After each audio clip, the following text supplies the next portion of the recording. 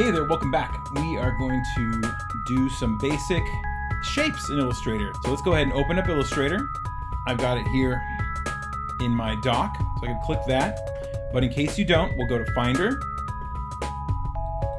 And go to Applications. Go ahead and find it here. There it is right there. You can open it up from there. You can put it, you can do that as well. So here we are. So we're gonna create new. I'm gonna go to, um, it's got recent, so it's got what I've last used, but if you don't have that, you can go to print.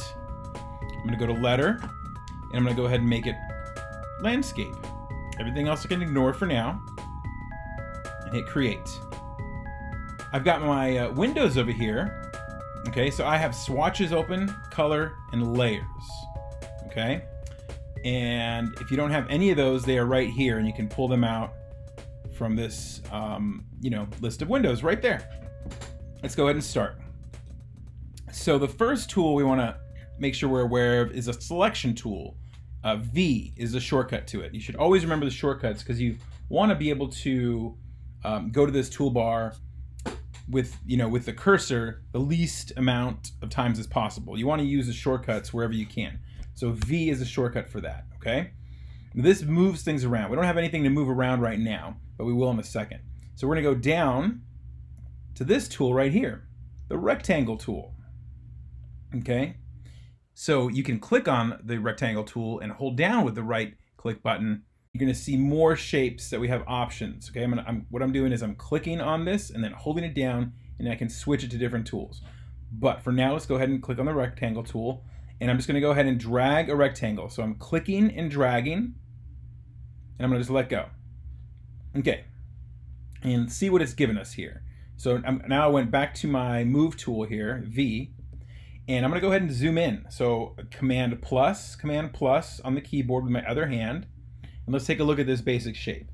So we can see a black line around it and the inside is white. Now if I look at my colors up here, so I'm looking at my controls and I can see that I have white on this first button here. And this is the fill color.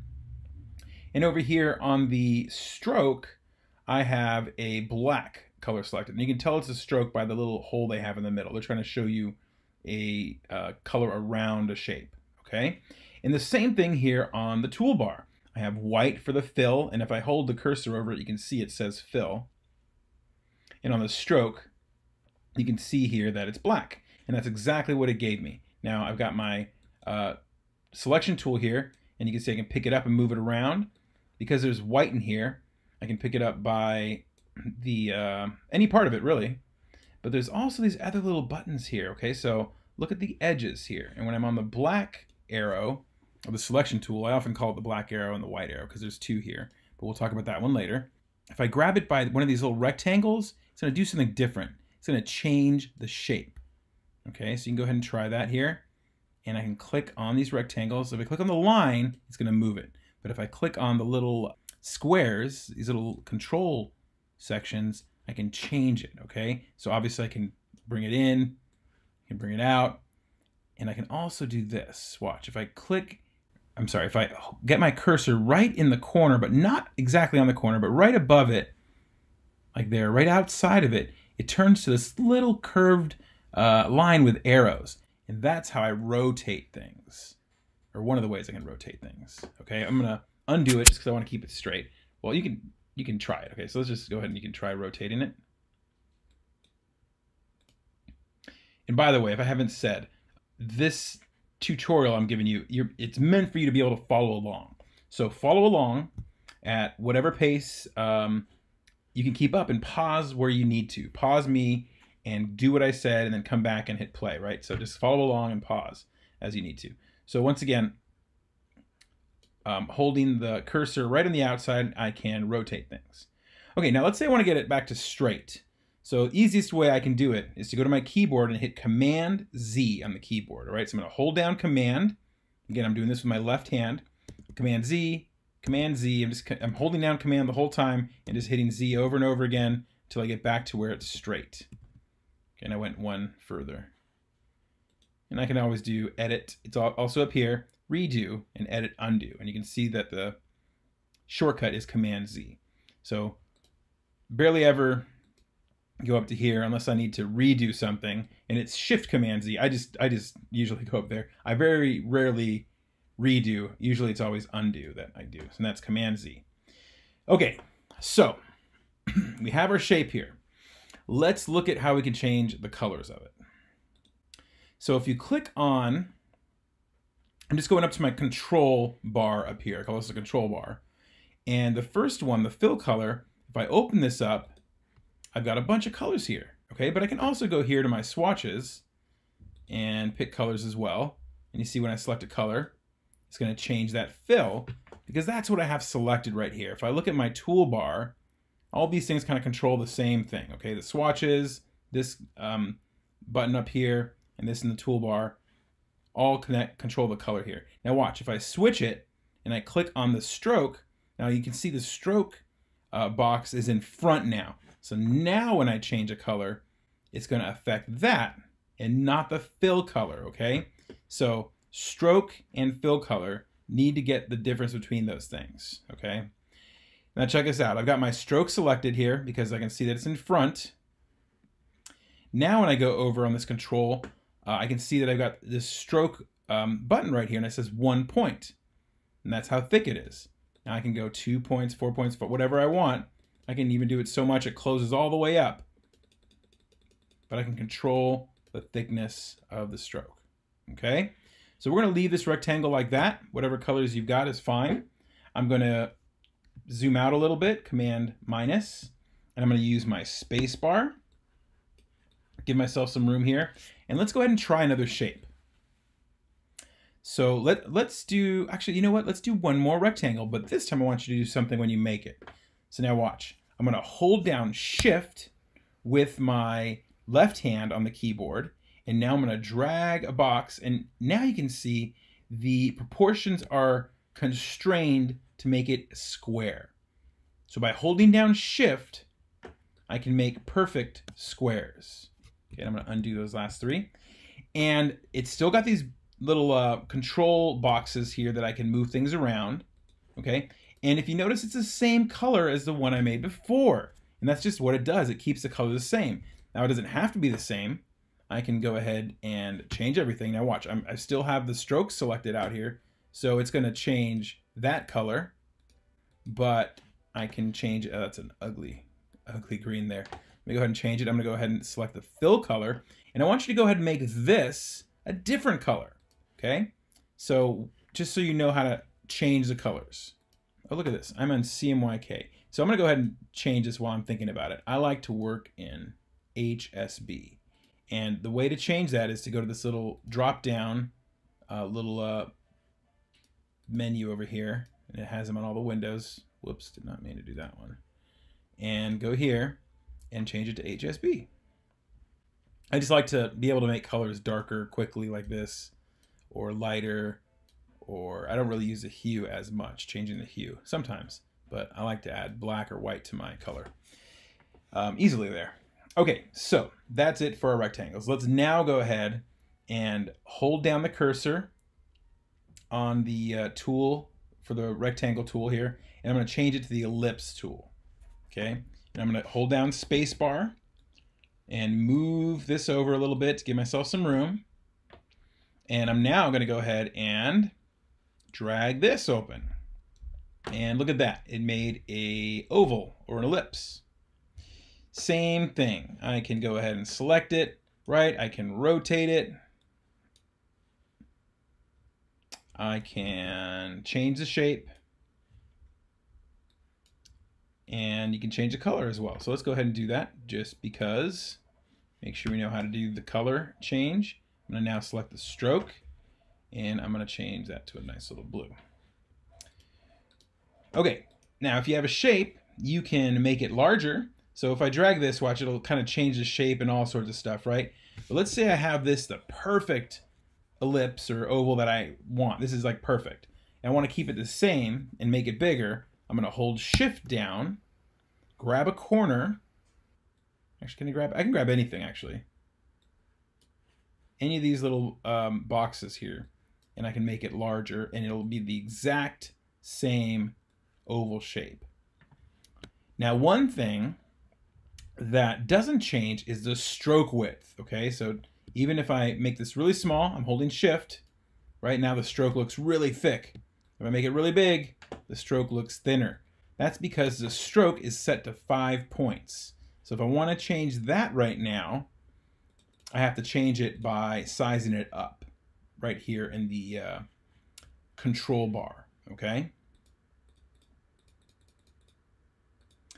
All right, let's look at some other shapes here. Let's go ahead and click down. Oh, let's note one more thing. So guess what?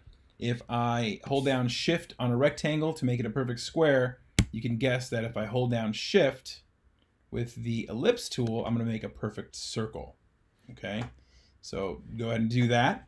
And even though I, okay, just side note, if I say go ahead and do that, it's because I'm thinking about it, but obviously I want you doing all this, all right? If this is, you know, you're learning Illustrator, I want you to do all the steps that I'm giving you to, um, you know, copy what I'm doing here.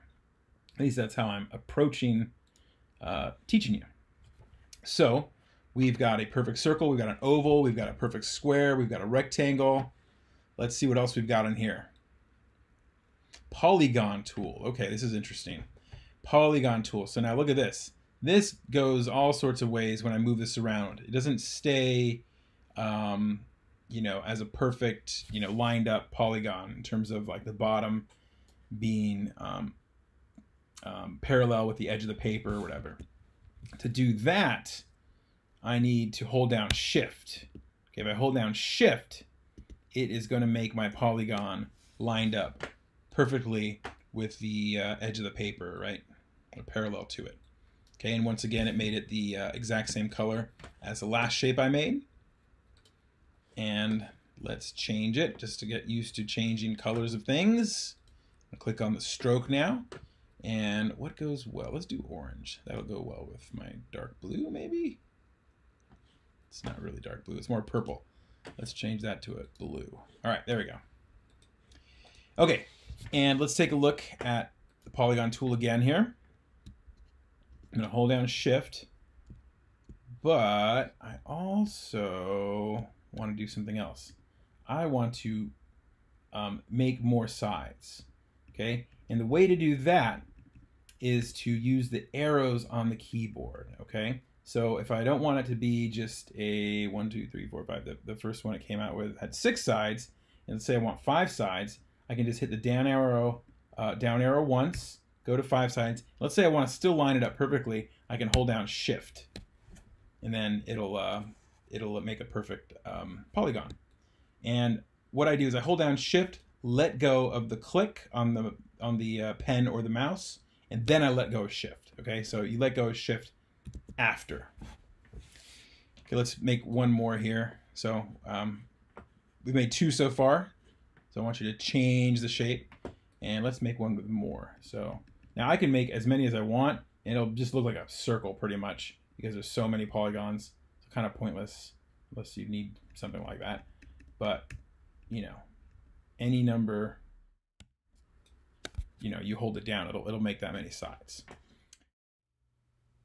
Okay, and one last thing uh, we can do to uh, change the sides on this um, polygon is this little button over here um, little uh, widget, I think is what they're calling them. Um, and you can slide it up and down even after you've made your shape and change the amount of sides on the polygon. So there it is, kind of hidden right there on the side. You can give it more or less sides. Okay, so that's how you control the polygon tool. And that's fine, they're all the same color, that's fine. Just moved it out of the way again using the hand tool with the space bar. Okay, let go of the hand tool back to and back to the black arrow. I'm going to go to my polygon tool and I'm going to check out the star tool. Okay, let's see what this does. Makes a star, kind of like the polygon tool. If I want it to be straight, I need to hold down shift. Okay, and let's go ahead and change the color of that for fun, just to make sure we know how to do it. So I'm changing the stroke, changing the fill color. Let's see. All right. So I've got a star. Okay, now there's a couple other things with a star. As you have guessed, you can probably, um, you've probably guessed, sorry, uh, you can change the amount of points. And guess how? With the arrows, of course, can go as little as three points, right? Which makes me a triangle if I need a triangle. So did the polygon tool, can make a triangle as well. But I can make all sorts of different stars here.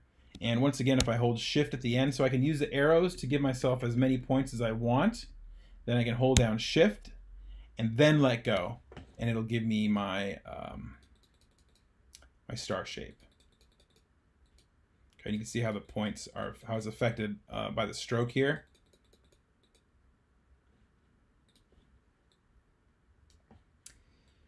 Okay, let's try one more thing with a star. So I'm going to go ahead and make another star. And I want to show you one other way. I'm going to go down back to a normal star with, well, normal, uh, stereotypical star with um, five points. And I want to show you one other thing, right? So I controlled that with the arrows. And once I got down here, whoops, too many. There we go. I can hold down another button that's going to give me another change. I can hold down Option. So check that out. Option changes the shape of the star from this kind of like, I don't know what to call it, kind of like cartoony, bloated kind of looking star to a more angular star, right? Kind of aligns up those lines. So I can hold down Option. Now I can hold down Shift as well and let go. And now I've got a different kind of shaped star here, okay? And that's it for stars. Let's check out this last one here. Line segment. Okay, what does this do? So I'm just going to drag, click and drag, and I can see what it does. Look at that. It makes a line. That's it. Nothing really to it. Just makes a line. And I can change the stroke thickness as well. Lines can also be there if there's zero thickness to the stroke as well. It's still there. And the way the vector program works is it's it's a calculation, right? I'm making a calculate, and there's a calculated line here. It just has no stroke applied to it but I'll put a little stroke on there. And let's see what else we can do. If there's anything else we can do this line tool. I can hold shift and make it straight, straight up and down, or straight left to right. I can hold down option and have it grow out from where I click from. So check this out. So instead of going in one direction, I can hold option down and it's going to grow from that midpoint, right? And I can still hold down shift if I want, but it's going to grow that way.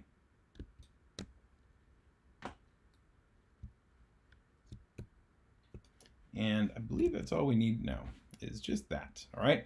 So there's our line tool. And those are our basic tools here. I'll put it back to rectangle um, to make different shapes, all right? And out of these shapes, uh, you can build so many things, you can make so many logos, and we can make things look clean and crisp by doing all sorts of things with these shapes, all right? But that is the basic intro to the shapes tool and to manipulating the colors with the fill and with the stroke buttons up here or here. All right, um, hope you learned something and hope to see you on the next one.